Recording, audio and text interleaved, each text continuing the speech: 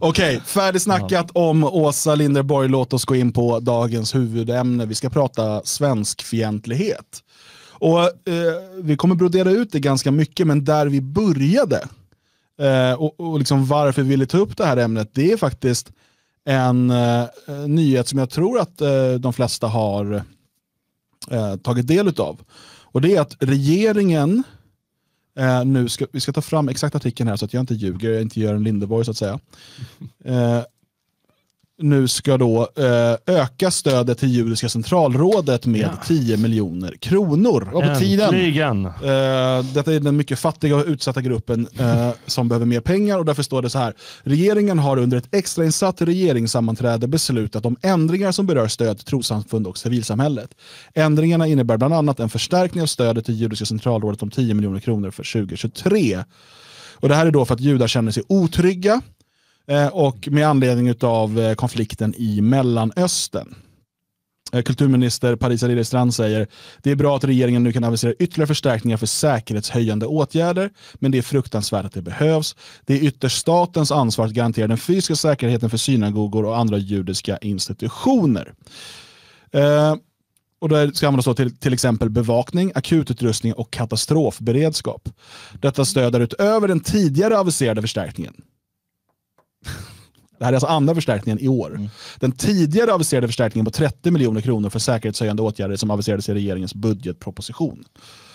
Vidare har regeringen idag beslutat att ändra förordningen om statsbidrag för säkerhetshöjande åtgärder till organisationer inom det civila samhället så att de organisationer som har störst behov av stöd ska kunna få stöd.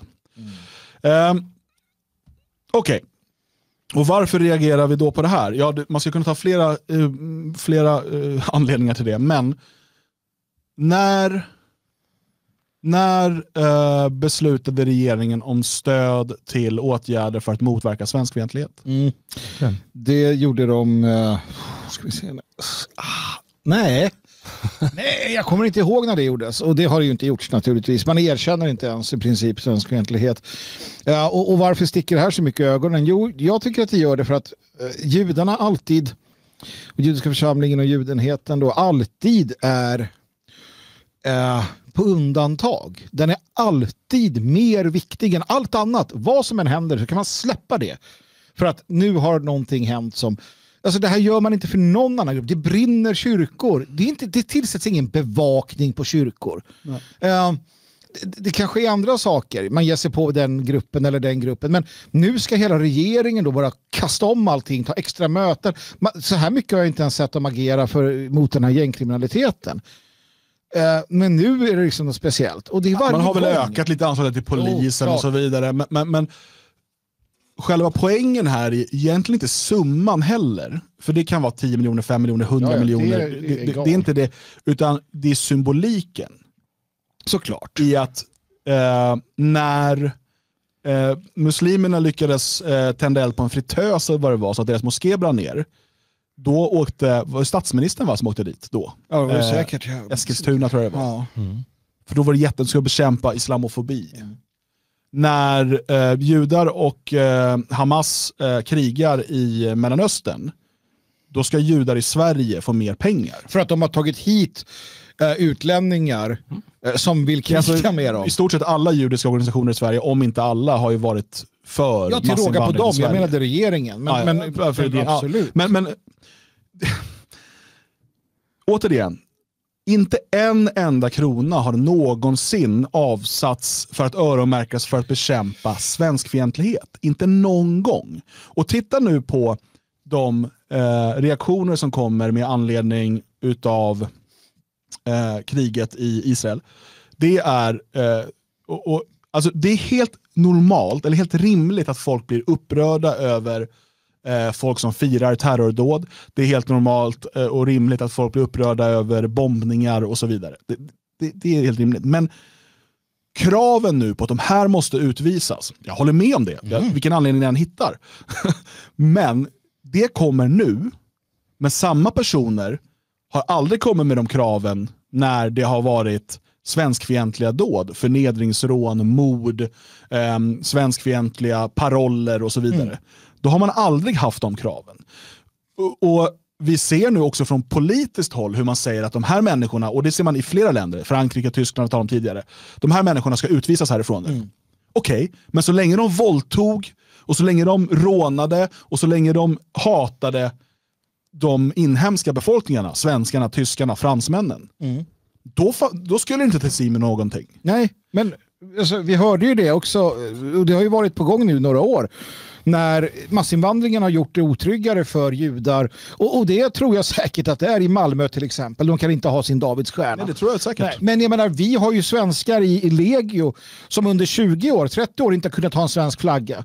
Nu kan man det, det är, det är annorlunda. Nej, men, men, men, det är så mycket annat som händer. Uh, där, där svenskfientligheten uppenbarligen är, är liksom i, i grunden inte ett ord, inte en peng, inte ett uttalande, utan snarare förnekanden från myndigheter och, och åklagare och makthavare och lagstiftare.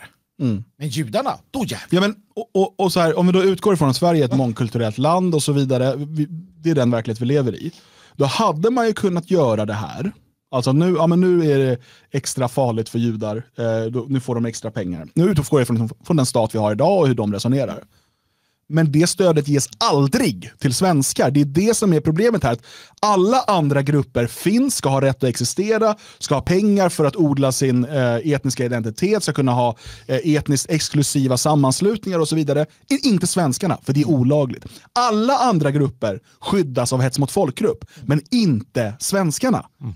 Ja, men så är det. Jag vill bara säga det, för att jag tycker, nu tänker inte jag hänga upp mig på judarna, eller det gör jag just nu för att det är de som ska få pengar, men som Freddy skriver här i chatten som rullar, det är ju mer än måttligt naivt. Judarna i Sverige har knappast velat ta hit en massa muslimer som vill utrota dem. Jag menar, det är ju bara för, alltså det mångkulturella men, samhället. Ja, eh, absolut. Och du kan, eh, det är klart när du säger judarna, som att de hade ett kollektiv. Deras organisationer, deras Precis, tidningar, dess, ja. deras synagogor, deras lärda, deras rabbiner, ja. deras, deras intellektuella, men kanske inte några enstaka judar som går och käkar en hamburgare på Donken. Nej, Nej. och det är det, för det är som att det ja, och då är det lätt så här, men kolla han, den här enskilda, Katarina Janouch, hon vill ju inte det nu. Inte nu. Eh, förut ville hon det. Men hon vill bränna SDs uh, valsedlar. Ja, men, men, det var då. Ja, men Eh, det relevanta är ju att titta i hur företrädare och organisationer har drivit den här frågan. Läs Hur Sverige blev en mångkultur eller kolla på Jonas Nilssons dokumentär med, som bygger på samma material. Läs eh, debatterna i Judisk krönika från den tiden när man gjorde Sverige till en mångkultur och även under 80-talet. Eh, okay. Läs Judisk krönika. Men, men, ja, ja, gör det. Det är alltså. rätt spännande. Men låt oss, liksom, jag tycker att det här bara är en startpunkt i en mm. större diskussion. Um, för att vi nämnde här eh, detta med hets mot folkgrupp. Låt oss bara kolla på det. Mm. Eh, det är så att justi justitiekanslern som då hette Göran Lamberts, eh, i samband med att man ville prova hets mot folkgrupp mot svenskar, eh, så konstaterade han så här. Syftet vid tillkomsten av straffstadgandet om hets mot folkgrupp var att tillförsäkra minoritetsgrupper av skilda sammansättningar och bekännare av olika trosuppfattningar ett rättsskydd. Det fallet att någon uttrycker kritik mot svenskar tog inte ha varit avsett att träffas av straffstadgandet. Mm. Det han säger är på svenska då, att det här skapades för att skydda alla grupper utom svenskar. Det är vad han mm. säger. Eh, sen har justitiekanslern senare varit inne på att vi kanske måste kolla på det. Sådär. Men än så länge har ingen dömts för hets mot folkgrupp mot svenskar. Och när man har försökt, vi kan kolla på ett ett exempel jag tycker är väldigt mm. intressant var Norrköpings tingsrätt. Eh, och Då gällde det en person som hade skrivit flera saker, eh, men bland annat hade han skrivit så här. Han var jude förresten. Eh, men det här, var, det här var ett försök att testa mm. HMF-lagstiftningen. Mm. Um, och det han skrev då, han, han, han försökte skriva det, det, det, mest hatiska han kunde komma på för att se om man kan bli dömd för hets mot folkgrupp mot svenskar. Mm. Och då eh, skrev han så här. Svenskar har barbariet inprogrammerat i sina gener.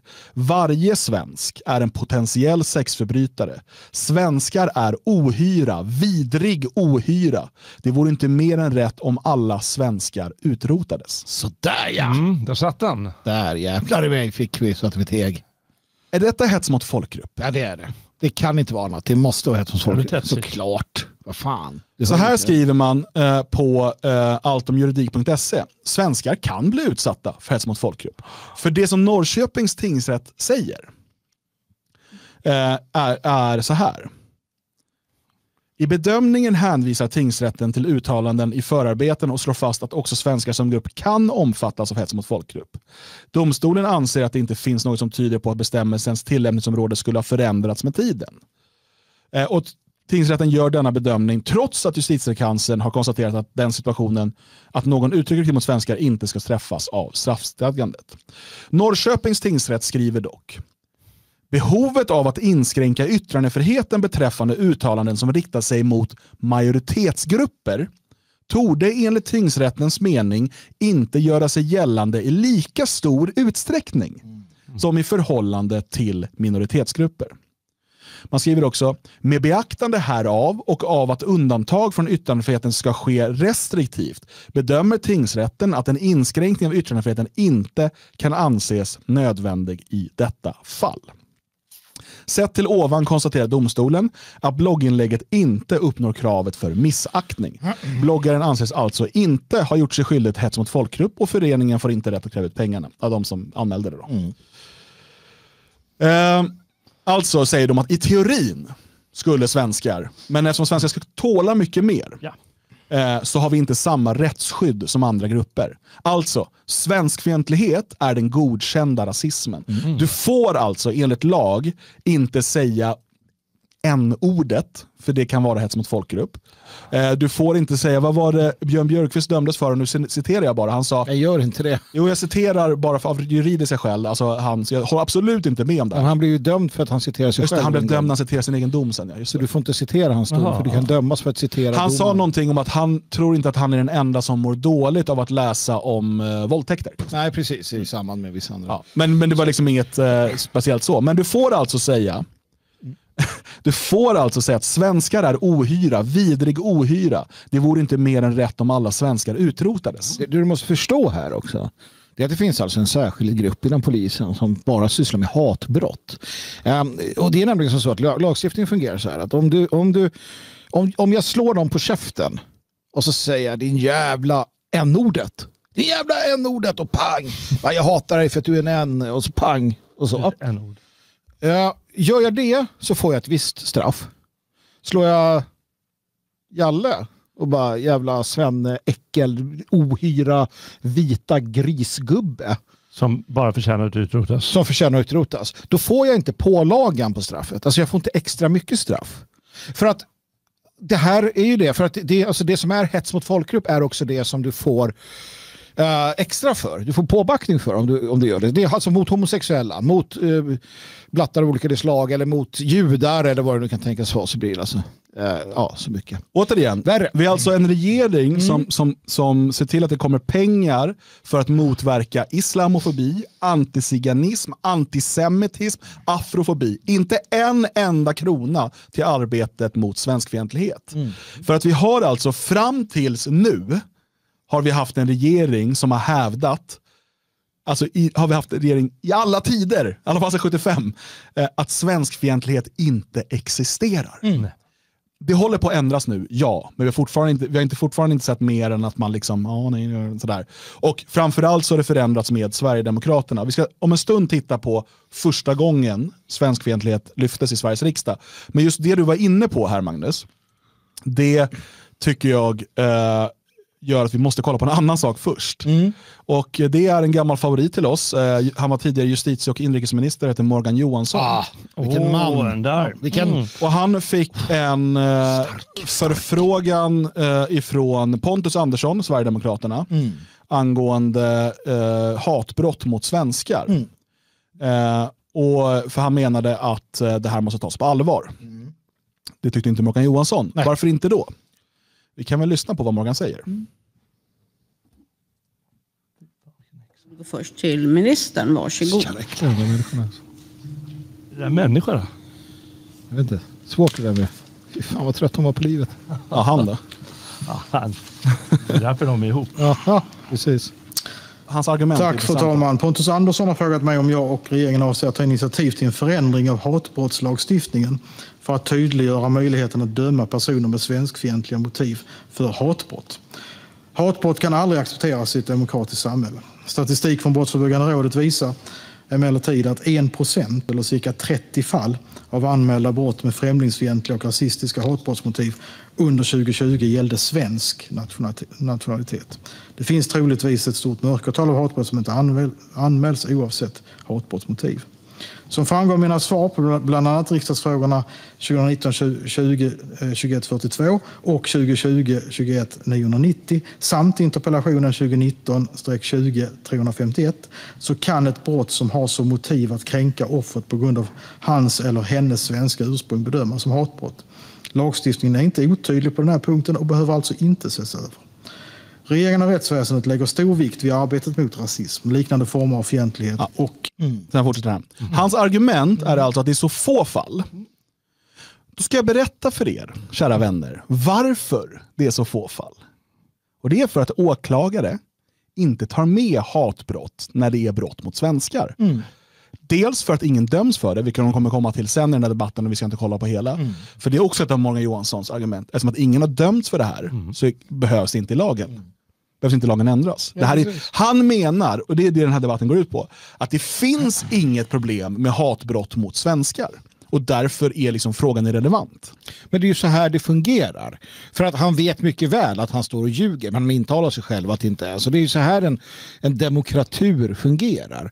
De använder ena, eh, ena liksom organet i, i form av då domstolarna som säkert har sina instruktioner.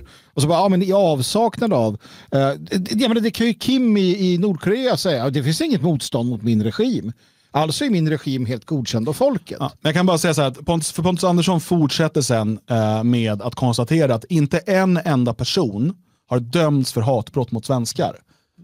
Och då säger eh, Morgan Johansson så här, det är alltså 1% av alla anmälningar om hatbrott som handlar om hatbrott mot svenskar. Då är det kanske inte så konstigt att det inte har kommit några domar. Av alla anmälda hatbrott totalt sett så är det bara mellan 3 och 5% som går vidare till åtal och lagföring. lagföring. Om det bara är en ynka, där är or- ordagrant, det bara är en ynka procent av alla anmälningar om hatbrott som rör hatbrott mot svenskar så är det kanske inte så konstigt att vi inte har sett någon fällande dom.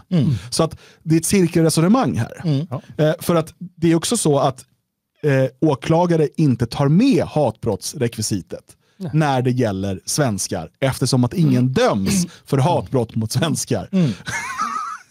och, och hävdar alltså den tidigare ministern här, och det menar jag att han gör, att eh, hatbrott mot svenskar är ett icke-existerande problem. Ja. Ja, han hävdar det och han tycker det också. Ja. Och eh, målet för honom är att komma undan med skiten också. Mm. Det är ju uppenbart. Och som arga utlandssvenskar skriver, få fall. Redan på 90-talet kallade babbarna mig svennejävel och svennefitta.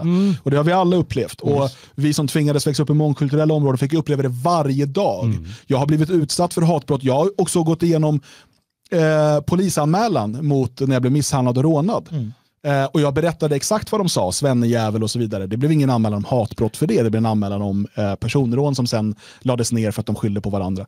Eh, men ehm, det här är ju det här, det här är hur man, alltså som sagt, svenskfientligheten är den godkända rasismen. Ja. Ja. Nej men absolut. Och eh, med hans goda minne givetvis. Med justitieministerns goda minne. Att han vill ha det så. Ja. Det är klart. Eh, Så vi måste ju förstå att vi lever i, i på, på det sättet ska man, må- måste man dra slutsats att vi lever i en sorts terrorstat.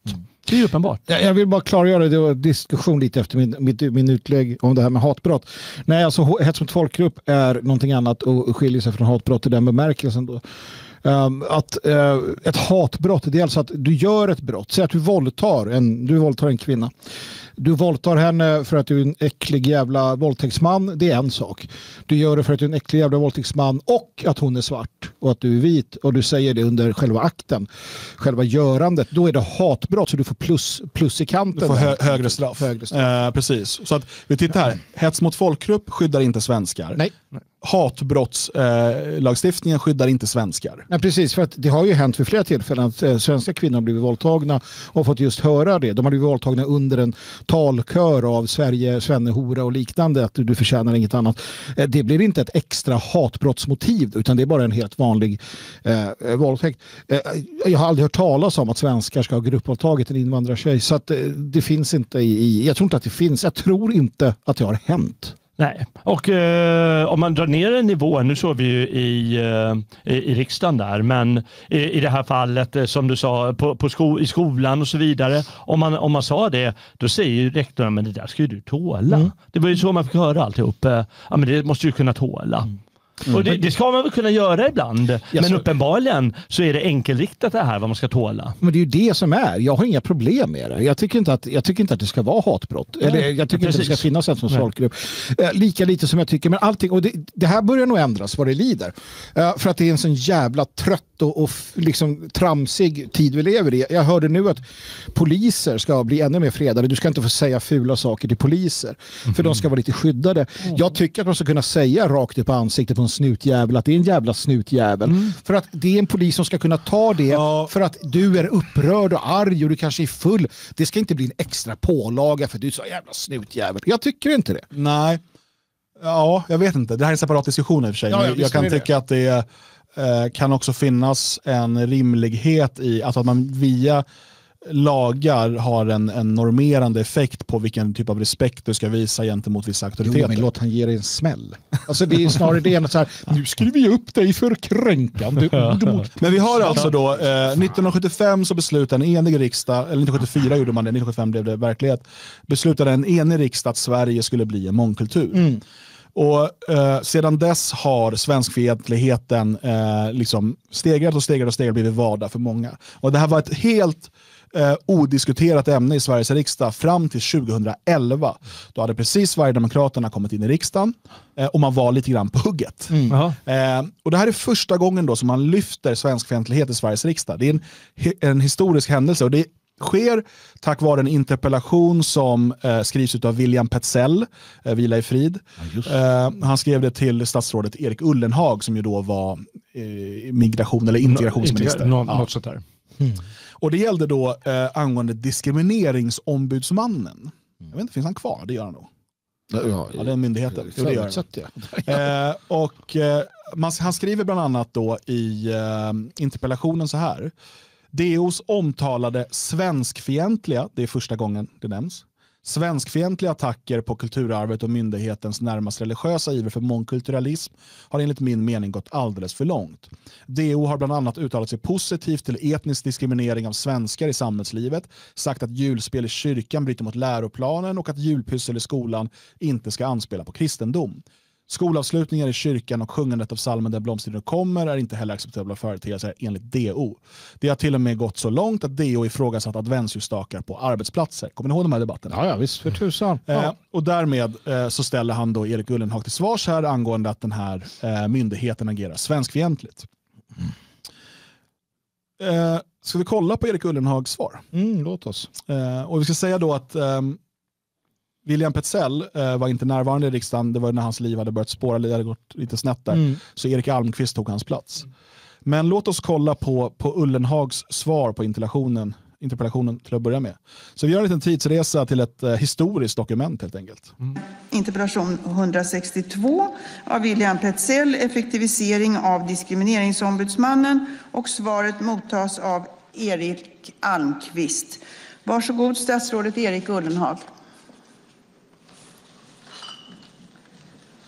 Ullenhag är idag alltså Sveriges ambassadör i Israel. Varför skramlar du som att någon hade bira med sig?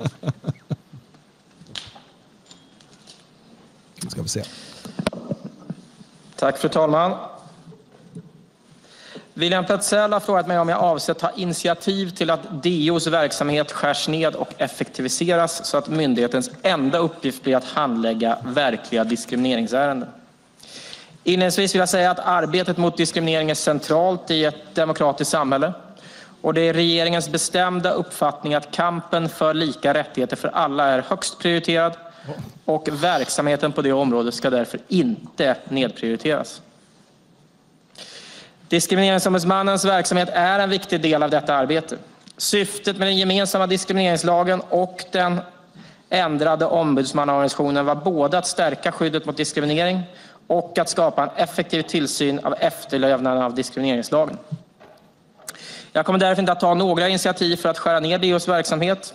Det gjordes inte heller några nedskärningar i samband med bildandet av den nya DO, men däremot gjordes det administrativa och andra samordningsvinster som i praktiken innebar att resurser frigjorts för kärnverksamheten.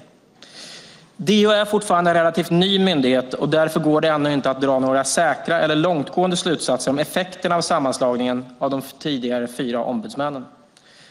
Regeringen kommer noga att följa konsekvenserna av sammanslagningen av ombudsmannamyndigheterna liksom tillämpningen av diskrimineringslagen. När det gäller DOs kärnverksamhet och handläggning av individers ärenden som rör diskriminering vill jag påminna om att myndighetens uppgifter är reglerade i de av riksdagen beslutade lagarna diskrimineringslagen och lagen om diskrimineringsombudsmannen. Diskrimineringsombudsmannen har ett brett ansvarsområde som både inbegriper att ta hand om individärenden om diskriminering men också om att förebygga diskrimineringen i samhället.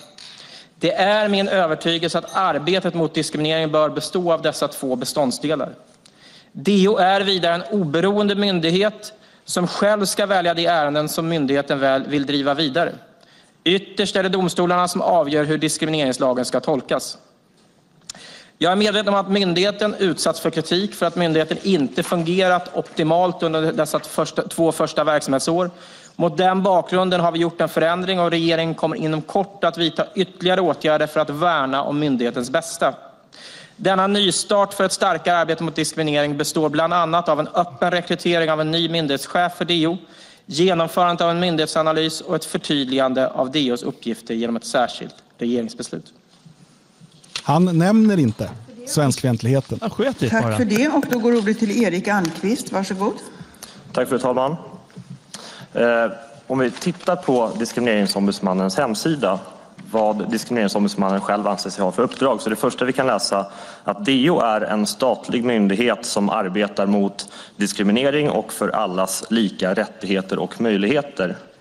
Och innan vi ens går in på myndigheten som sådan och hur man, hur man eh, förmår utföra sitt uppdrag så kan vi konstatera att det finns ett grundläggande problem, ett strukturellt problem som inte minst tar sig uttryck i en lagstiftning som faktiskt uppmuntrar och tillåter diskriminering. Vi kan till exempel se hur man eh, enligt lagen har rätt att eh, diskriminera både elever och arbetstagare inom skolväsendet och inom arbetslivet eh, om man anser att det motiverar ett berättigat mål, att man kanske vill fylla en kvot eller liknande. Lagen tillåter alltså diskriminering, men den är neutral på så sätt att man, man pekar inte ut vilka grupper som ska diskrimineras och vilka som inte ska det. Vilka som ska missgynnas och vilka som ska förfördelas. Eh, Men tillämpningen den eh, utgår från en konsensus som ändå finns inom den politiska makten i Sverige och funnits en lång tid. Eh, Man slår fast redan i regeringspropositionen från 1997, Sverige, framtiden och mångfalden, att eftersom en stor grupp människor har sitt ursprung i ett annat land saknar den svenska befolkningen en gemensam historia. Och det här är lite av kärnan i, 97. i maktens resonemang. Det är många politiker som har ifrågasatt om svenskar överhuvudtaget existerar. Eh, de som har en lång anknytning till den för övriga partier geografiska förvaltningsytan Sverige, för det är så man från andra partier betraktar Sverige, eh, de kan inte ses som minoriteter. Och eh, det är de här, låt oss för enkelhetens skull kalla dem svenskar, som man söker särbehandla negativt. Det största riksdagspartiets partiledare har till exempel menat att om två lika meriterade personer söker jobb på en arbetsplats med få invandrare ska den som heter Mohammed få jobbet. Alliansen har sagt till att den här idén blir praktik, inte minst eh, när man har infört instegsjobben som diskriminerar svenska löntagare på arbetsmarknaden. Likaså om vi ser till justitiekanslern, hur man förhåller sig till de här frågorna, så har man varit väldigt tydliga med, till exempel man har uttalat sig så här att den avgörande frågan är, skriver JK, om intresset att öka den etniska mångfalden är viktigare än intresset av att förhindra diskriminering. Svaret på frågan är ja. JK tycker alltså även de att diskriminering är godtagbart För snart kommer det historiska när han säger svenskfientlig också i, i, i talarstolen. Men just det där, tänk på vad det han säger där. Att man har konstaterat att man ska ha en diskrimineringslag. Men är eh, värdet av att öka mångfalden, alltså få färre svenskar på en arbetsplats till exempel, är det högre än diskrimineringslagen? Ja. Alltså, vi har en diskrimineringslag, men den finns bara för att diskriminera svenskar. Ja. Återigen, svenskfientlighet, den godkända rasismen. ifall man förbättrar mångfalden, ifall man på något sätt når de här kvantifierbara målen om kvotering för att skapa ett mångkulturellt samhälle. Utgångspunkten för de övriga partierna är att eh, diskrimineringslagen ska skydda minoriteten eller minoriteter från majoriteten och majoriteten får gärna diskrimineras för att framhäva minoriteten och ge särskilda rättigheter. Eh, jag ifrågasätter det här resonemanget i grunden. Självklart finns det diskriminering, självklart finns det förtryckande strukturer och alltid funnits genom människans historia. Men det kan slå åt olika håll också. Jag tror inte att det är många eh, som förnekar, jag tror inte att Erik Ullenhag heller förnekar att till exempel en liten minoritet i Sydafrika diskriminerade en stor majoritet. Och faktum är att många svenskar idag i Sverige lever också i minoritet i den, i, i, den, eh, i den kommun man bor i den skola man går i eller i de bostadskvarter man bor i. En svenskfientlig lag, tolkning av diskrimineringslagen var från början långt ifrån självklar när diskrimineringslagen infördes. Men DO har antagligen blivit den samhällsaktör som kämpat mest för att med diskriminering som förevändning verka för att försvaga svenskars rättigheter i Sverige. DO gestaltar kärnan av svenskfientlighet och spär på motsättningar mellan grupper i samhället genom olika behandling. Och därför menar jag att DO, om myndigheten överhuvudtaget ska fortsätta existera, bör få tydliga direktiv om att fokusera på verklig diskriminering och att ur ett människovärdesperspektiv betrakta svenskar som lika värda andra folkgrupper. Det här är, alltså det, det här är historia. Det här är första gången som svenskfientlighet lyfts. Och eh, Vi ska inte kolla, det det är 23 minuter. Det här finns på riksdagens hemsida.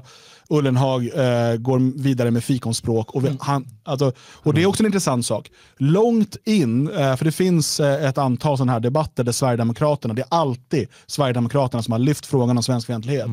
Långt in eh, till eh, för bara några år sedan var det ingen av motståndarna som tog begreppet i sin mun. Utan man pratade runt det. Eh, så att man, sa, man pratade om allas lika värde, ingen ska få diskrimineras, inga hatbrott och så vidare. Men begreppet svenskfientlighet vägrade man använda. Just det. Och, och, och eh, för att konstatera vad han säger så är liksom diskrimineringsombudsmannen, den är inte till för att förhindra diskriminering utan den är till för att diskriminera. Det, det, det är så jag förstår honom. Och det ska man, man ska faktiskt ha det i, i, man ska komma ihåg det när man diskuterar de här sakerna. Att det, det låter som, nästan som en ordlek men det är verkligen så det, det har blivit. Även om det kanske inte var absoluta syftet från början så är det automatiskt så det blir. Man, man måste ju här också acceptera, precis som att vi måste acceptera att eh, den eh, vita regimen i Sydafrika medvetet eh, använder sig av apartheid, så använder sig den svenska regimen, svenska politiker av svenskfientlighet. Han, han hör orden, han ignorerar dem i år efter år efter år sker det. Alltså att på frågan om politikerna, inklusive nuvarande då ledare, ja, ja, de vet detta. De har hört Sverigedemokraterna prata om detta och man har medvetet tillåtit det ske. Ja, jag vill bara rätta mig själv. Jag såg nu när jag kollade igenom här, eh, just i den här interpellationen så, näm- så svarar faktiskt Erik Ullenhag med begreppet svenskfientlig. Eh, men jag vet sen, jag satt och kollade igenom massa här innan, att, det inte, att de liksom pratar runt det. Men just i den här så faktiskt, då kanske inte me- memot hade gått ut än. Att när de lyfter svenskfientlighet så eh, säg ingenting om det.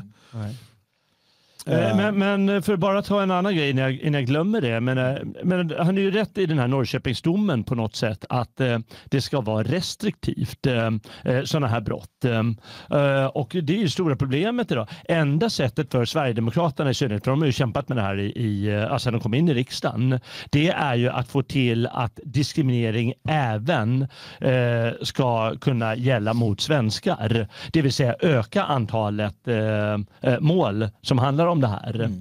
Eh, och, eh, men det är ju ett problem, det måste man komma ifrån. Och det, det, hur, ska, hur ska man kunna hantera det? Finns det något annat sätt att hantera det? Frågan. Eller måste man gå dit här att det, ja, men det måste till fler brott, först då kan vi få ner antalet. Eh, Ja, men, men det bygger ju på eh, antagandet att de här, den här brottsligheten inte finns och inte är ett problem.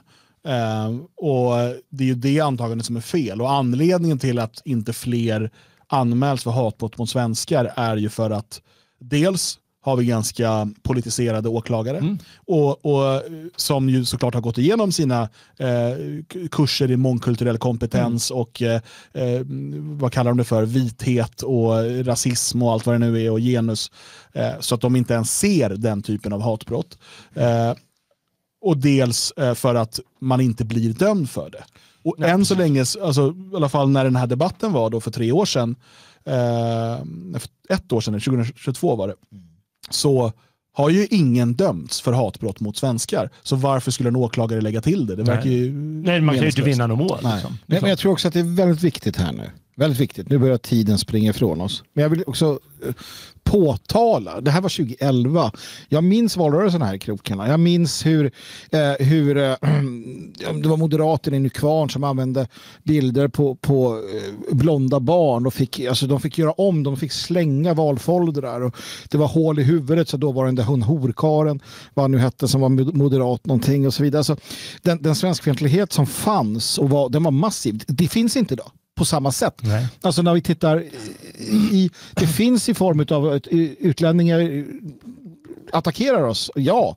Men, men alltså, ett, alltså det har hänt otroligt mycket och jag, jag vill så ofta jag kan få folk som kanske inte var med 2011 eller 2000 eller 1995 att det har hänt otroligt mycket som är till vår fördel i allt det här mörka som händer.